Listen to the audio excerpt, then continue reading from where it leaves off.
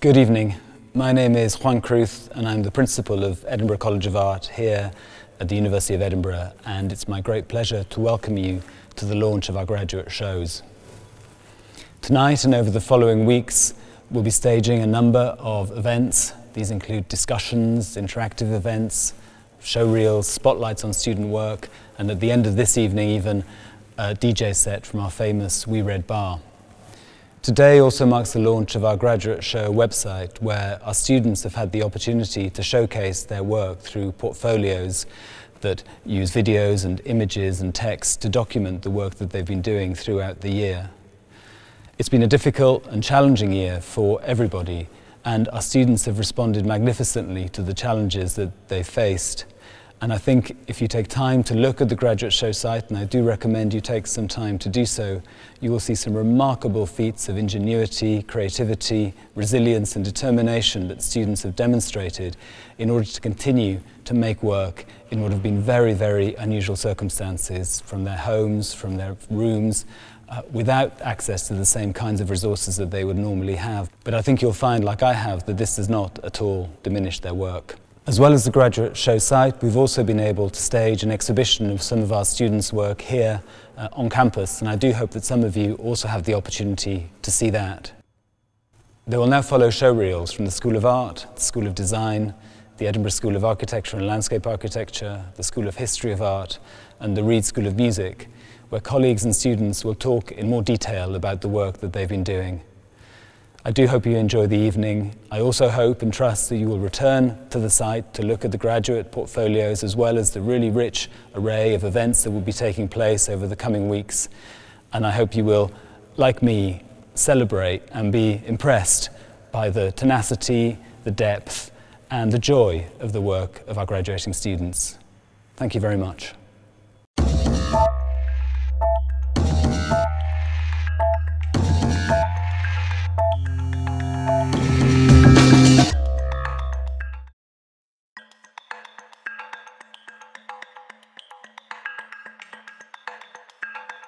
Courage and motivation, perseverance and dedication, ingenuity and innovation, creative outlet and confidence. Excited to present my body of work alongside my peers.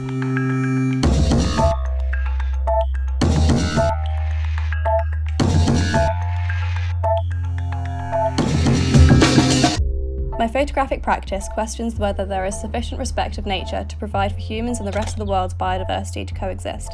For my project, I became an inquiring researcher to confront anthropogenic climate change caused by overexploitation of the Earth's natural resources. I explored the techno-utopian idea of recreating plant life artificially through bioengineering. I've taken on the challenges of the last year by using the autonomy of digital photography to continue my project and find new ways to explore my interests. The main themes within my work are time, memory, decay, and preservation, with the subject of ruins and their relationship to capitalism and politics. Making work at home during lockdown, I've been a lot more limited in terms of scale, materials, and processes, but in a way, it's made my practice more authentic. I became interested in auto-destructive art because it embodies the themes of my work.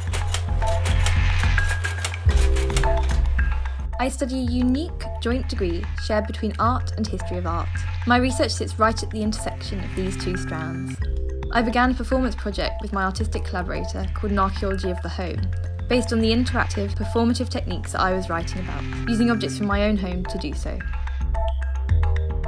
My work lingers on the border between fact and fiction, contemporary art and writing, collating prose and imagery through drawing, animation and coding. I work with figures in ink, charcoal and collage, often mixing textures and physicality with the digital. Storytelling holds a strong thread in all my work, relating back to my own experiences of queerness, of connection, belonging and remembering. I use painting and printmaking to create collage compositions, bringing together everyday domestic objects in imagined spaces. This year, we've not had a dedicated space in the studio, but I was able to set up a desk in a friend's shed with an area to gather my source material. My installation, Domestic Battlefront, represents the home as a place of security or conflict. This year's graduate students at the School of Art have had to work in extremely different and sometimes difficult situations.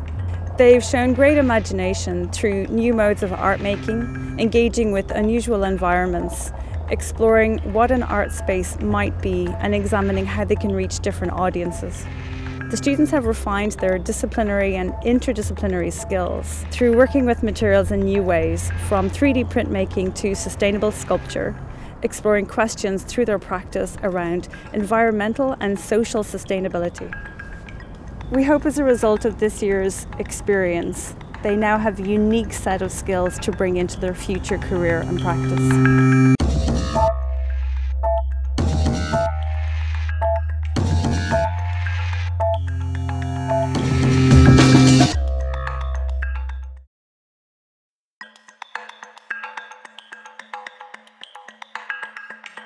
Creative outlet and confidence. Strong emphasis on collaboration. Courage and motivation. Independent as a designer. Perseverance and dedication. Ingenuity and innovation.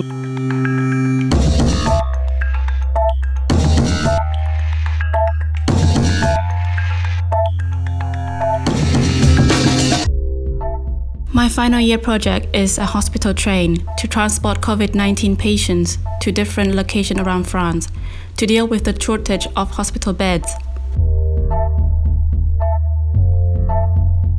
I have been exploring speculative futures based on the foundation of transhumanist principles. My work is focused around the idea that we will one day merge with technology as a means of overcoming our fragile existence. Working from home has introduced some obstacles, such as working with resin and giant bits of fabric. It has been such a source of comfort to be able to switch off, get lost in my work, and just enjoy the process of making. My project this year looked into how folkloric stories are based in community, but also form a sort of collective memory and history. My main project is concerned with immigration and memory, a widely discussed question in the current world. I illustrated the problem in a picture book project through the form of a fable. I created a collection that proudly voices my community's contribution to the UK, from colonial times till now, and to particularly celebrate South Asian women. The fashion programme's push for diversity is inspiring and necessary. COVID 19 influenced the outcome of my dissertation. Instead of physical data sculpture, I created a digital data comic biggest trouble for the old man was not enough food and drink. My project uncovers the difficult situations of marginal groups under lockdown in China. My animated short film is about a protagonist discovering a grey hair and spiraling into panic, in which the hair becomes her tormentor. I'm drawing on themes of body image and insecurity, or feeling uncertainty and being conscious of the passing of time. I've been working with bead weaving techniques to adorn my jewellery as well as translating images into beaded compositions. Repetitive and meticulous techniques that require intense periods of focus appeal to me because they allow me to study these materials and make creative decisions in the process. The MFA course emphasized ingenuity and encouraged innovation when approaching documentary form, and challenged us to reconsider story structure. She's in heaven. I, I like to say also that she's traveling, you know. I wanted my film to help normalize the conversation around the sensitive issue of pregnancy loss. We completed multiple briefs under the mentorship of industry professionals at Design Bridge Amsterdam. In my individual practice, I've covered a variety of projects from conceptual to commercial, and I've been able to experiment and become a more versatile designer. My graduate work is a celebration of Soviet Russian constructivist ideals, which I took as inspiration for my modern textiles collection. I have created a temporary print bed at home with the help of our technicians, which has allowed me to carry on printing for my final collection. I have great pleasure in introducing you to the work of our graduates from the School of Design in 2021. Put simply, they are graduates like no other. They have faced significant challenges and obstacles during their final year of study, yet their resultant work is exceptionally strong and more significant than ever. These are graduates that will make more impact on the future industries than any year before them, embodying the key attributes that make the best and most globally facing creative influencers. You will be able to view a range of work that spans a wealth of important subjects where our students demonstrate their ability to think compassionately to address equalities, innovation and environmental impact amongst many other themes and creative concepts. Please support our graduates as they enter their careers in the creative industries. They are more adaptable, ingenious and employable than ever. We look forward to seeing how their careers flourish as they leave Edinburgh College of Art.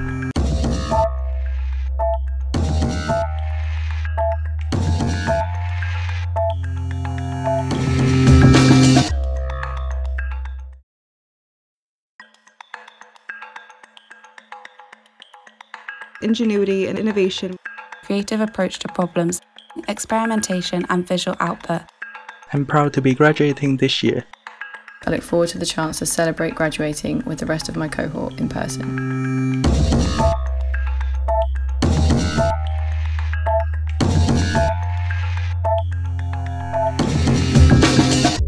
The school encourages us to do animations, models, and experiments to explore and evolve our design thinking. We link our projects to current and future events, such as the upcoming United Nations Climate Change Conference. In my project, inspired by the COVID lockdown scenario, I initiate a transportation revolution that reveals the existing car-dominated culture. You can see a city with no cars, less pollution, and the return of wildlife ecosystems. Our group has looked at the narratologies that exist in and around the city of Ahmedabad, studying how they shape the perception of the urban fabric at different scales. We aim to articulate them within a proposed architecture. We had the pleasure of visiting Ahmedabad at the beginning of our second semester. A lot of material is grounded in that visit, including our walk along the Salt Marsh route.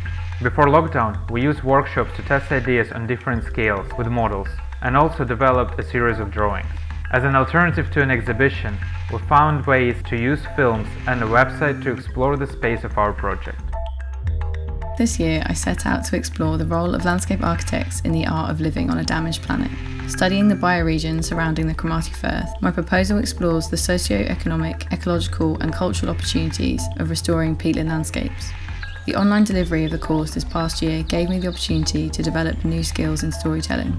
I used animation techniques to communicate a compelling narrative for the project. Working from home this year has pushed our problem solving skills even further.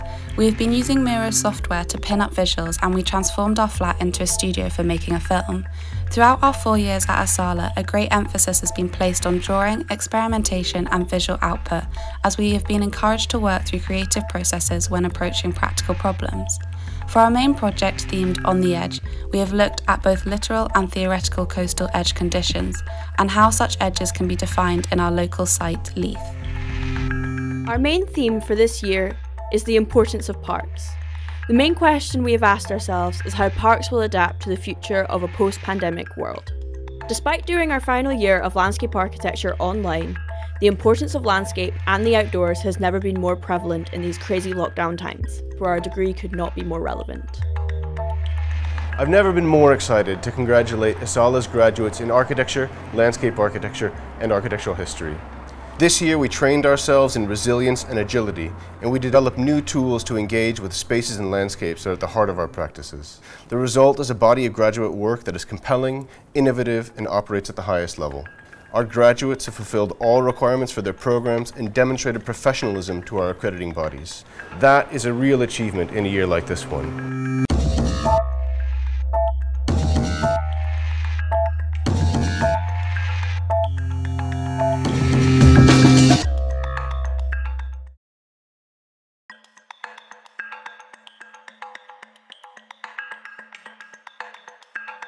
Creative freedom, tenacity, courage and motivation, perseverance and dedication, ingenuity and innovation.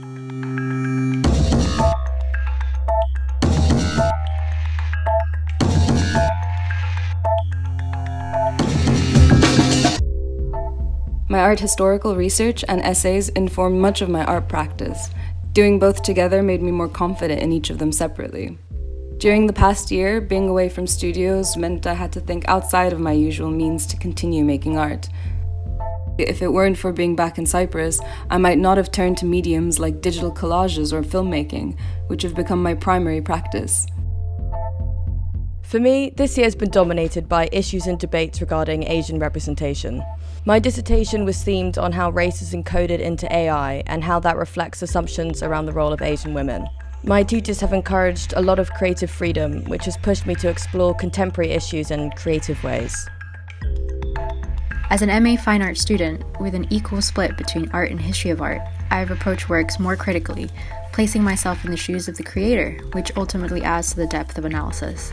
My dissertation focuses on the official nationalist themes and narratives around a collection of female portraits owned by Indonesia's first president. This gave me insights into the cultural knots and nuances of being an Indonesian woman today. Inspired by the dramatic landscape of Greyfriars Kirkyard, I decided to focus my dissertation on Scottish funerary sculpture. Due to the lack of scholarly material, the project called for first hand research. While there was a difficulty in accessing records during lockdown, I was lucky that much of my primary material was outdoors. I've made connections with Edinburgh World Heritage Graveyards Project, and I hope that my research may have a relevance and utility beyond the university. History of Art at the University of Edinburgh is the second largest history of art department in the UK. We've long offered a diverse and challenging curriculum. When most institutions were focusing on European art, we also offered courses on Chinese and Islamic art. Since then, we've continued to lead in expanding the curriculum and have hired new staff who specialize in the areas of Southeast Asian, Japanese, and Mesoamerican art. Additionally, we've introduced new courses on pressing issues such as cultural policy, ecology, and colonialism. Student dissertations are our capstone project reflecting four years of engagement with this diverse and outward looking curriculum. Above all, though, it demonstrates our students' abilities as critical, independent, flexible thinkers. And it's this that's at the heart of everything we teach from the first class to the last. And we couldn't be more proud of their accomplishments.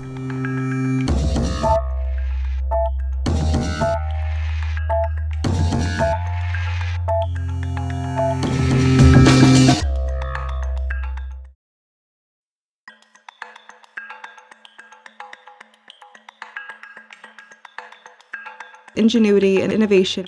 A shared passion for creativity and expression. The community that we've been able to build over these past four years has been one of my favourite things.